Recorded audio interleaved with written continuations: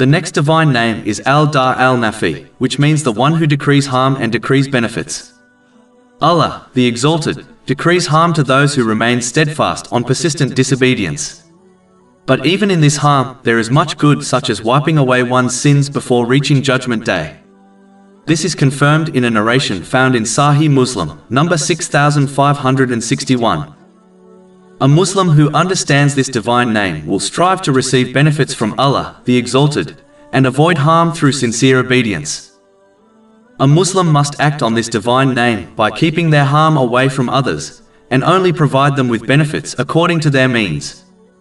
This in fact is the characteristic of a true believer, according to a narration found in Sunan an-Nasai, number 4998. Over 400 free ebooks, audiobooks, infographics, podcasts, and blogs available on our website, www.shaykhpod.com.